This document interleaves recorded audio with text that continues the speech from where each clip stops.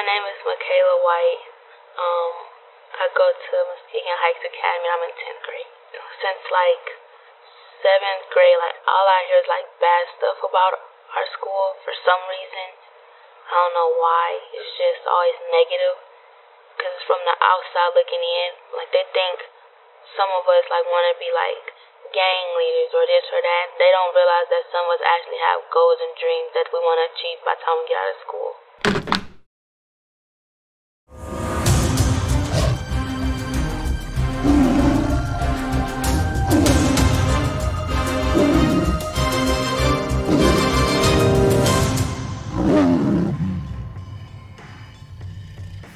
People say there is nothing good that can come out of Muskegon Heights. Oh man, I hope nobody ever tells that to me. It'd probably be a problem. But um, if I did hear it, I would just tell them to look around. When you talk about excellence, you can't talk about excellence in Muskegon County without including people from Muskegon Heights community. Darius Quinn worked for Kent County HR. Jeremy Wright worked for uh, the state of Michigan. The first black Supreme Court justice for the state of Arkansas. She graduated from Muskegon Heights 1958. Philip Cummings worked for the second largest law firm in the country, Judge April Walker, which I, I graduated with her and attorney Philip Cummings. Shelley Baldwin worked for uh, CNN News. Uh, Judge Greg Pittman. Uh, Carl Russ was a professional football player. Dr. Pam Smith, Pastor Kai Guy, uh, Dr. Dwayne Dede, who, who is a neurosurgeon down in Florida. Carla Laws, who was a principal here. Torrance Daniels was a professional boxer. Anywhere you go in the world, you're going to find a Muskegon Heights graduate doing some great things. Yeah, I've been here since August 1968.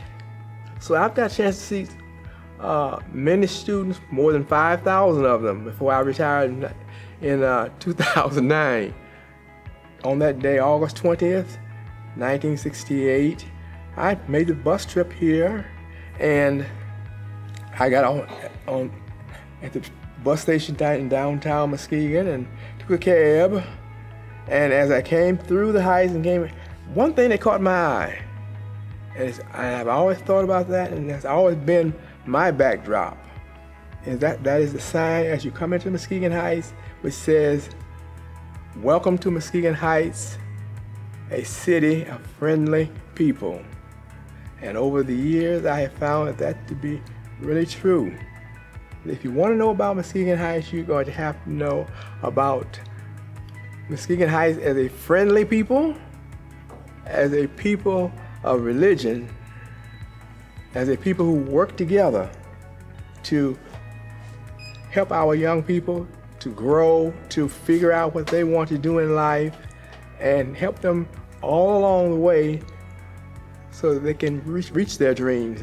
Whether their dreams are going to be here in Muskegon or if they're going to go all across the world. Because that's one of the things that I noticed, you know, about being here, the caring of the citizens of Muskegon Heights for each other. And that is what made us, I think, a good city.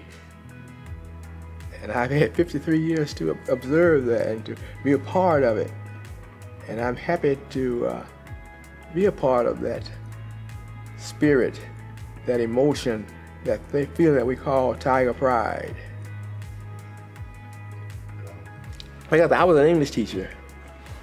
And I was always very proud when my students came up with a story or a poem or uh, an essay that uh, I felt uh, was worthy of sending off to, uh, to be judged or for someone else to enjoy. I am a member of the Peninsula Writers, and we sponsor an anthology. I know one in particular, I can't remember her name right offhand of the effects of, of that stroke. I can't remember some things, but, but I had one student who, very proud of her, uh, she uh, wrote poems and stories. I submitted them in her freshman year, her sophomore year, her junior year, and then her senior year. Okay, it got to the point where the, the, all my colleagues knew the writing and appreciated her writing, they enjoyed it. And they said, well, we are going to have to get some type of award for her. They did up a certificate, a collection of stories that she had done, and we presented that to her at, uh, at the class night for her, for her graduating class. And so, oh, she was very happy about that, but not as happy. I don't think as happy as I was. I have had over the years uh, several people who have done stories who have had stories published. I have had uh, some uh, students who have gone on to uh, become English teachers, and that's that's a proud moment. Almost as proud as you know when I had my had my daughter. I can think in, in terms of the uh, class of 1978. We, we got April Walker, I know who is an attorney down in uh, Houston. I believe it's Houston. Dr. Burt, Orlando Burt, who was one of my students. He's doing great things, and he quite, quite often comes back here, and we get, get a chance to talk. You know, that's one thing about that, that Tiger Pride. You know, we are able to, even though we were teacher and student, now we are friends, we are comrades, and we're able to uh, sit back and talk and just, just, understand, you know, what it what it means to be a tiger and and how how that idea of the tiger is manifested in many ways, many many jobs. See, I, Mr. Harris and I used to on, on Bedford Street across over across Sherman. I bought the house on Peck Street, 2037 we shared the upstairs apartment. Okay. He had the back bedroom, I had the front bedroom. Yeah. And we shared it, and that's how I got to know Mr. Harris over the years. And at the time, I'm volunteering up here as a hall monitor because I worked second shift at the shop at the time. And uh, they, kids, the basketball team, track team, didn't have no way to get there, so I volunteered to take Or the cheerleaders sometimes couldn't go. We would burn up cars. The state police knew Muskegon Heights was going to the game. because they would have police cars and give us almost a police escort to Kalamazoo, Lansing, whatever. I can remember working at the Lisco Corporation, the old Sears Court skating rink. My boss, George Dillard, I would go in his office in September and circle March and April tournament times. I'm not going to be here. Don't mm -hmm. care what you do. I had to do a sample run that Saturday morning at the shop. Heights is playing basketball in Lansing, Michigan State. I got there by the fourth quarter. I was at the, shell, at the service station right here on Getty and, in uh, Sherman, filling up my tank when tip off of the game started. When I got to Lansing, sit down, they were just beginning the fourth quarter. That's a good time. We would go to Kalamazoo. I never forget the state police would be out there. Here come Heights. Zoom, zoom, zoom, zoom. State police, go, go, go. They pull over one car, five or six Heights cars goes zoom right behind. Mm -hmm. Uh, Detroit, going, going, to, going to Lansing one time, Michigan State. In the S curve between here and Grand Rapids, I passed myself, the state police, doing 85, 90 miles an hour, and I put them on Muskegon Heights Tiger. That's how the support we had. Mm -hmm. It used to be huge. Fan buses, all that. And then when we got the buses, same thing. We, in mm -hmm. fact, uh, we went to Kalamazoo one time, and uh, they didn't have about 25, 30 seats for us. Oh, no, no, no. We taken the gym. We took the whole state up to Fremont, I never forget we went to Fremont one time, they had us pushed in the corner. Uh-uh. Next thing you know, we had the whole side. Next time you see me high come, they gave us a whole section. Mm -hmm. That's, that's the type of following the school had. We had a, another, Mr. Sindor would go south. All the black college bring teachers up here. My so sister-in-law had a reputation over there at King School. You could not make Miss Anderson mad. Mm-hmm. That's all. Yeah, and that just brought that village from the south, that southern hospitality, moved to Muskegon and Muskegon Heights. And we had those teachers who were like your second mom or your second dad because they cared about you because they weren't much older than you at that time. Our teachers probably were about 24, 25 and we were 17, 8, 16, 17, 18 being taught by our peers. And they instilled in us that, that college excellence because they had just left those HBCUs from down south. And so they brought that Southern um, culture up here to Muskegon Heights and it really just made that village a whole here in the city. Oh, Mrs. Wright, Miss, Mrs. Wright, Mrs. Moore, uh, Mrs. Joyce Harrison, Robinson, Joyce Robinson, Mrs. Newsom, Mrs. Causey, Mr. Turner, Mr. Turner, Mrs. Turner. Oh, those were all of our village. Yes. Mark Glover, Mr. Glover, the true board right now. Yes, but yes, mm-hmm. she, yes. I mean, uh, mm-hmm. She moved here in 19 with Mama. 60 eight, I mean, 16. Yep. Where did you move from? Miss Magnolia, Arkansas. She Magnolia, Arkansas. She was one of those. Arkansas, yep, University of Arkansas Pine Bluff. She was one of those teach, one of those students who was recruited to come up here and, and teach. She lived in the. Um, uh, we used to have little, little hotels. Oh yeah, the motel. So the basically, motel right there in the Gator mm -hmm. Street. Okay. That's where she stayed the first two or three nights she was in town. Yep. So basically, what they did was they would have houses of Miss Burton, Queen Burton, mm -hmm had bought a house next door to her house, and she had four bedrooms in that house, and she would lease each room for teachers who were moving up here from down south. That's how huge this was for our community. It was community supporting community. Hey, I'm gonna buy a house next door to mine to bring those students who want to teach here up and house them until they were able to make enough money working at the school system to buy their own. And that's how our community grew. I don't want to get into a racial thing, Pulliams, but yeah. some of the white teachers that we had up here were just as good as some of the black Oh, of teachers course. because they were dedicated to educate.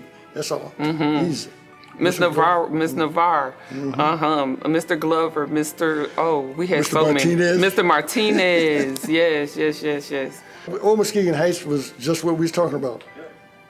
You had Mr. Dotson, the gentleman downstairs with the football team, washing clean uniforms after the game. He didn't get paid.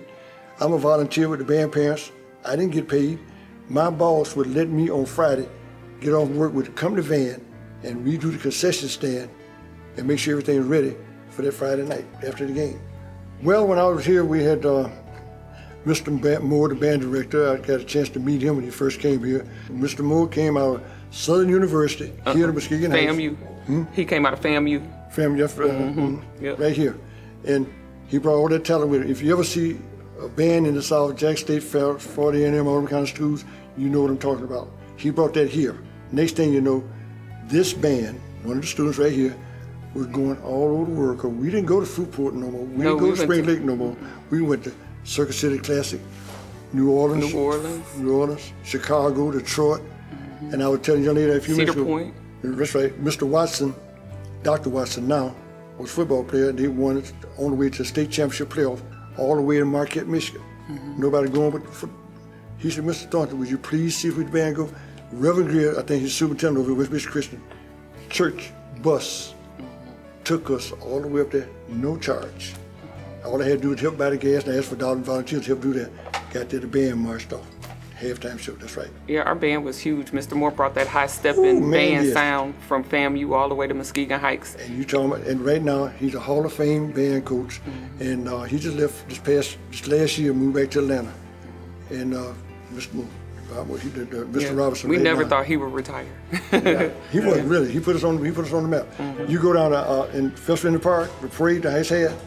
You leave till you hear the song. I'm so glad. Mm-hmm. Bob Moore played it everywhere you go. I'm so glad I'm from Muskegon Heights. Do you know about the second line in New Orleans where um, how the bands and the parades would be marching down the middle of the street and you would have the second line of everybody following that band down on the sidewalks? Muskegon Heights, had a second line wherever right. the band would go. That's right. Children all from little all the way to grown people would follow the band in every parade as that second line. I didn't go the first three years in New Orleans. That's my home, about 100 miles away. But anyway, the last year I went, we had a sign meet on the sup- uh, chaperone van, Muskegon Heights. Somebody stole that sign off and let us know I got that sign because you made me homesick. Tiger Pride to me, um, it means community. It, com- it means loyalty. It means family. home, home, and it also Tiger Pride is where you can stick your chest out because you know around the world you got some educated people out there, and don't let nobody fool you. They are doing a great job around the world. That's what it does for me. What does Tiger Pride mean to me? Um, I think my answer would probably be a little different. Most of the time you talk about Tiger Pride, it kind of relates to sports when it comes to Muskegon Heights High School. I think for me, when I got here, it was being able to see professionals in the building of the high school that looked how I looked. Just that pride of being able to see people that have careers in a community that you're growing up in just gave you the sense that anything was possible. and you can dream it. If you can dream it, you can achieve it. So I just love to uh, be a part of that legacy of being a person that came from this community and have followed my dream in, in my career. When I came here my freshman year, my um, brother Keith and Ron's wife were in the band. Um, I played the drums, but I had no idea about band or reading music. I just hopped in the band because I knew how to play the drums. So it took them about a year to figure out I didn't know what I was doing. So I, I, can pick up the beats, so I would just listen and learn, remember it and learn it. But our band was pretty good, so we were going to state, and uh, they put the music in front of me, and I was don't know what that is. so Mr. Moore pulled me to the side and took some time and told me and showed me what exactly what, what I was playing. So I was able to pick it up. So I think we got did good good numbers at state. So my high school time here was fantastic, great. We did a lot of things. So I loved it, every moment of it. Um, I, I, played football and basketball here at Muskegon Heights. Um, my sophomore year, junior year, and senior year, all on varsity. Um, my junior year was probably my best high school year ever. Uh, we made it to the semifinals in football that year. And if you know the history of, of football at Muskegon Heights, we had a lot of down years. So for us to kind of make it that far, that year, the whole it was like the old time movies. The whole city was shut down. Everybody would be at the games. The crowd would be going crazy. It was just an honor to be able to represent our community during that time. And then we left football and went right into basketball. And again, we made it to the finals that year. And we got an opportunity to play at the Palace of Auburn Hills in Detroit. And uh, again, it was an honor to be able to represent this community, and, and, and it was an honor to see so many of the community people follow us all over the state to each tournament game.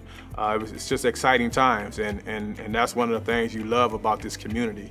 Um, despite what other people think, the team that we had and some of the guys that was on that team, um, football-wise, you have uh, Kareem Watson, who's a doctor now, um, uh, uh, Keith Guy, who was a point guard on the basketball team, who again is the athletic director at um, Muskegon Public Schools. Um, CQ Moody, who played both sports, he's an administrator over in Grand Rapids, Grand Rapids Public Schools. Um, Fonte Love, who was on this football team, he's a lieutenant with the Muskegon Heights Fire Department. So it, it's funny how that, the group of guys that we had and the hard work that was instilled in us paid off way after basketball. So a lot of times when people say and talk about sports, don't, they don't always realize how that can carry over to life skills you know, being on time for practice, working hard when you get there. All those things are life skills that help you carry over and achieve goals that you have in your um, latter part of your life. What it means to have Tiger Pride, that, that's a really deep question. Um, and the answer that I would have is the heart, the love to of the community, the love of children. Um, we say we are a the city of friendly people. So Tiger Pride follows what you do as a person. Um, it's a heart. I mean, it's a, you know, you, you hear that tiger growl. Um, it's the passion that a person carries as they walk through the city. It's the passion that a person carries, you know, whether they're going from one state to the other. So no matter where you go, you meet another tiger it's all love, it's all respect, it's happiness, it's joy. So I'm, I'm hoping that we can continue to go back and reteach Tiger Pride to our children, let them know what it means to stand for something, um, to mean what they say, and for their name um, to carry weight, not only in their city, but in their lifestyle where they go. Um, I, will always talk about Mr. and Miss Western. Mr. and Mrs. Western were, Mr. Western was the principal of Muskegon Heights High School. Ms. Western was, was our social studies, social studies teacher. They actually drove me to Michigan State University to attend college, even as a freshman in high school. I started college through the National Science Foundation. That also matured me and made me the man that I am today. Um, because I remember the first day I was scared, I was nervous, didn't know what I was doing. All I knew, I packed my bags and went to campus. Um, upon arriving to campus, I didn't have the money. My parents didn't have the money. But Mr. and Miss Western, they took me to campus, took me to the grocery store, filled up the refrigerator in the store, and they talked to me, let me know everything was going to be okay, and then they left. A month later, they came back on campus and brought more food. And they and left and said everything is going to be okay. I've never forgotten them because of that.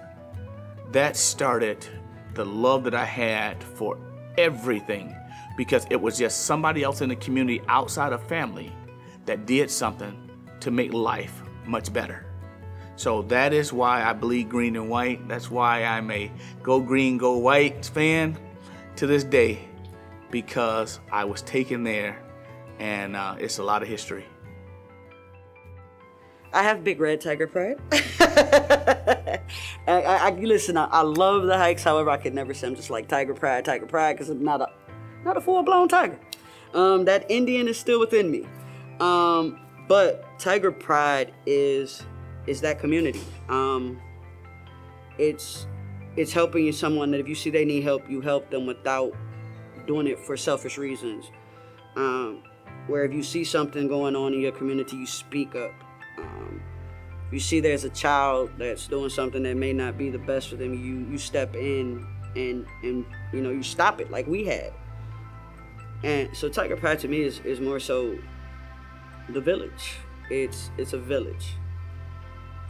I played basketball for Muskegon High School, and so like the big rivalry game was with um, Day here at the Heights. Um, we played against her, and it was an amazing game. Um, the energy was always high whenever Muskegon and Muskegon Heights met on the on the court. So, okay, it impressed me, but when I was playing sports, it kind of irritated me because they had this whole chant: "Get your hat, your coat, and leave." And so that made us play even harder because we definitely didn't want them to say that irritating chant at the end, like their whole bleacher section.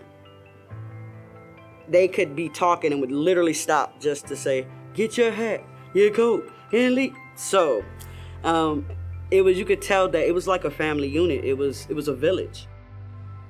Tiger Pride is a form of excellence. It is a form of perseverance. Straightforward, our community is predominantly black. Challenges historically, we've had to work twice as hard.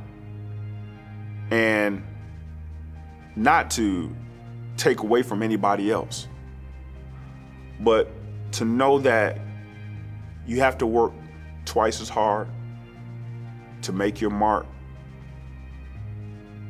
That had to be put into our community. Work hard. Be the best. Don't take no shorts. Make sure you have a seat at the table. You don't always have to fight, but you just put, you got to put your best foot forward. And when it's time to go forward and you have to fight, you fight knowing that you got the confidence of a community on your side. Being a Muskegon native, uh, if I was to talk to people native of Muskegon Heights, I'd be an enemy because I'm a, I'm a Muskegon Big Red, uh, class of 1990. But within our community, growing up as a child, the two communities were intertwined. Uh, families, uh, kids. If you wanted to connect two communities, all you need was use all you need to use was Sanford Street. Uh, Muskegon Heights is um, the, the southern end of Sanford, where my alma mater, Muskegon High School, was on the corner of Southern and Sanford. So it, it was nothing for me to get out of school because we got out of school before Muskegon Heights did, and drive down and hang out in front of the school, wait for friends to come out or see what the latest scoop was and see which kids had what cars, if they worked on them, or uh, driving up and down the strip on Hovey Street, uh, catching to see what kind of action would happen or or things like that. Just growing up, it was it was fun. It was fun, and uh, Sanford Street would always be that connector between Muskegon and Muskegon Heights. With Sanford Street, houses were were pretty well kept. Wasn't a lot of blight. During my days, we still had families that took a lot of pride in their homes.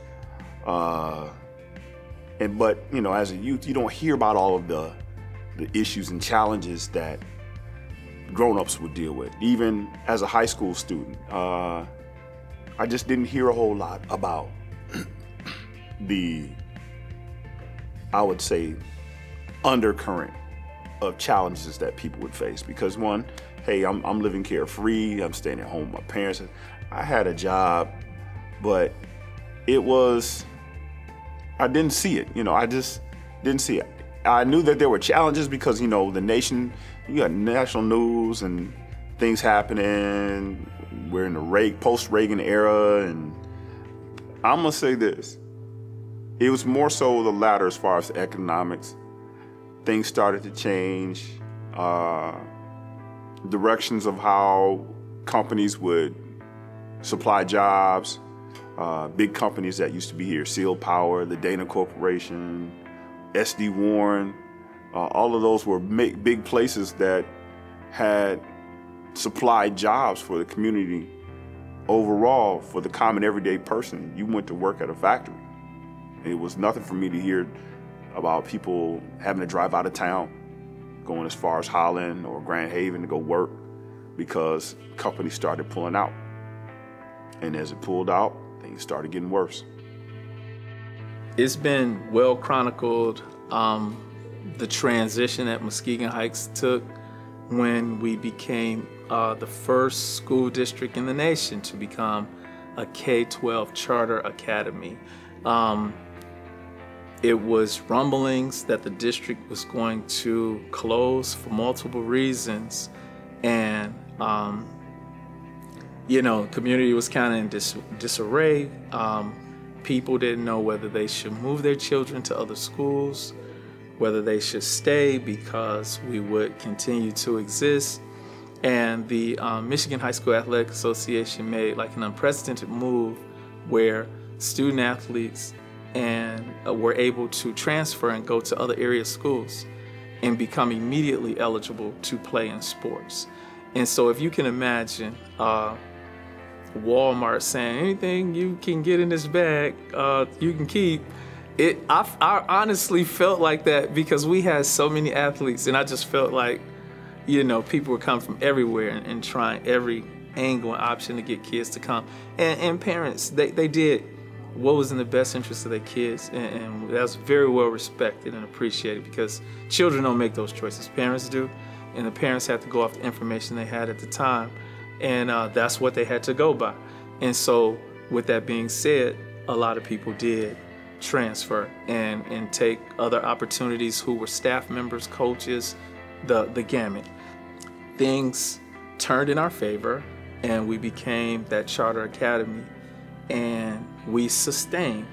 But uh, the second question became, what's going to happen with all these programs that's been such highly performing programs, basketball in particular, because we had runs for multiple years after that with two great coaches uh, that came right after Coach Gilbert, um, who carried the torch great.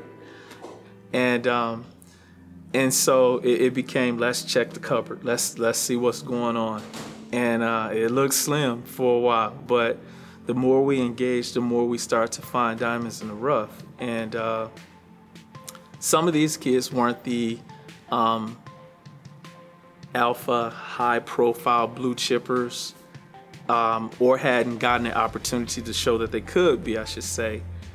But uh, the potential was there.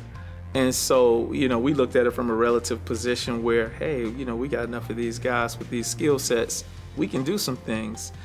And uh, unfortunately for us at the time, we had the number one team in the state on our schedule the second game of the year, which was the Rockford Rams.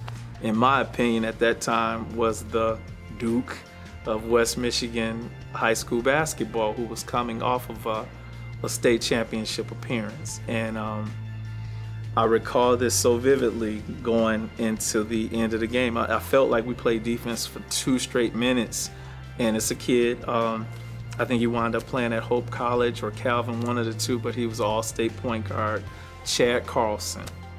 Uh, he hit a three pointer to tie the game with like 10 seconds left in the ball game. Immediately, I called timeout because I'm thinking I don't want us to take no early shots and give them a chance to win on the other end. And so I'll never forget Chad Carlson, who's a great guard also. He stepped up and slapped the floor, and the other guys for Rockford slapped the floor like that gesture defensively, like, okay, let's bring it. And so I'm like, man, this is a moment, you know? And um, Jeff goes into his one on one moves, and Carlson is planning pretty tight. I think Jeff makes a move and tries to step back to shoot his three. He took the shot Carlson ran into him. They both fall and hit the ground. The ball roll in and roll out. Horn goes off. And then all of a sudden, in like the second part of that sound, I hear a whistle and I see a white and black shirt run over and make a gesture and I'm losing it. And so I think when the officials got everybody calm again, you know, Jeff walked out to the floor because at this point there's no time left on the clock. So you know, no other players were allotted on the floor, so he had to just be on his own and make the foul shot. Jeff hit the first one.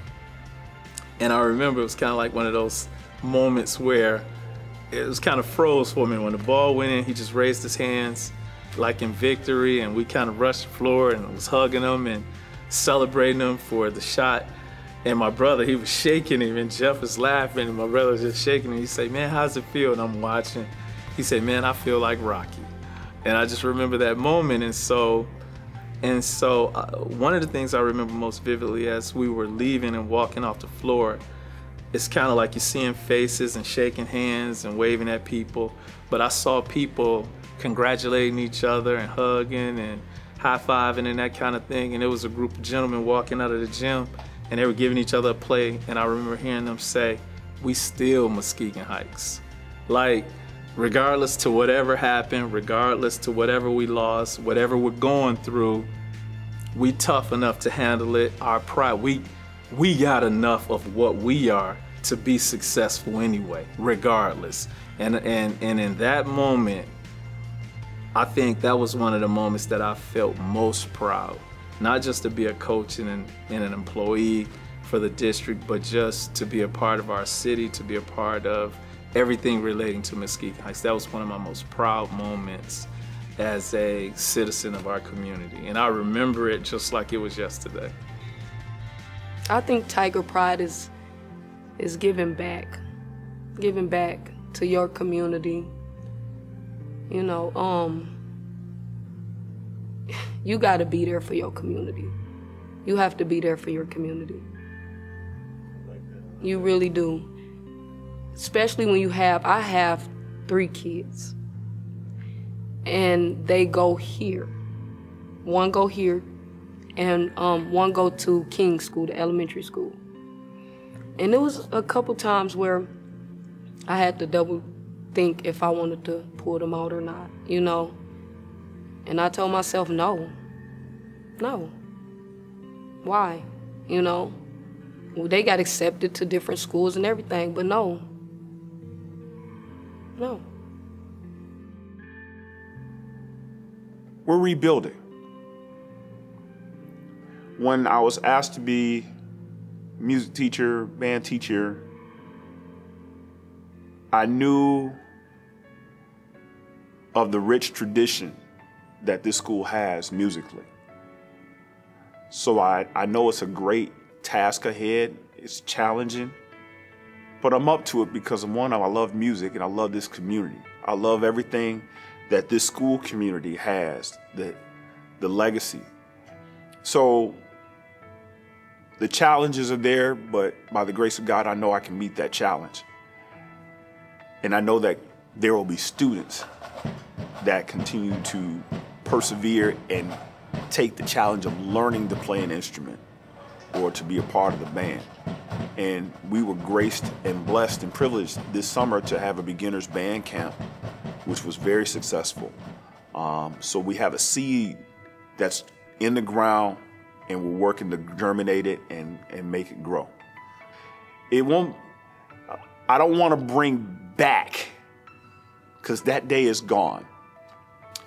Um, but I want to build upon what was for something brand new to come. And that will be the Heights Tiger Marching Sound Machine, because that's what it was. It was, a, it was like a well-oiled machine producing a sound that not only caused you to get up and dance, but it lets you know that the Tigers were coming. Just be on the lookout. Um, Muskegon Heights is about it's about to be a shift in the atmosphere. My generation is kind of, you know, we're to the point where we're tired of waiting for somebody to come in and help, so we're gonna be that change that we wanna see.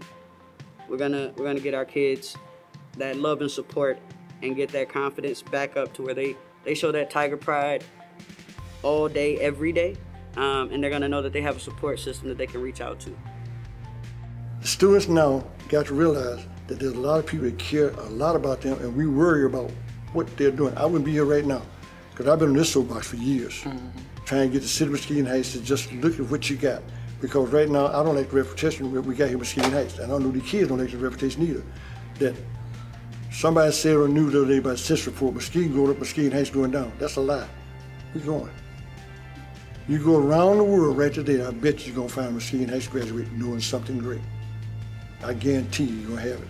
All over this world, we have Muskegon Heights doing great. What I'm saying is, you got to look at what you got right here in this building and be surprised. You got a brain. Please open your mind up and stop being a fool. 5% of the kids out there are bad. 95% are good. Let's talk about the 95%. Let's brag on that 95%. The 5% you can't change. They're going to do what they want to anyway.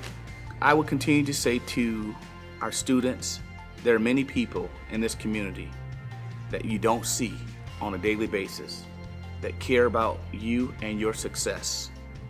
There are people like the Brother Harrises that are still here that still care deeply about your success as a person.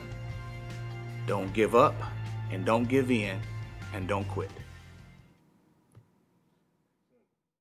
I am Taraya, and we walk around the tiger because it's a respect thing and it's also a tradition. I am Edric Torrance, and we don't walk on the tiger because it's disrespectful. I am Jemiah. I walk around the tiger to show respect, and it's a tradition. I am Norman Hancock, and we don't walk on the tiger because it's a sign of respect and it's a tradition.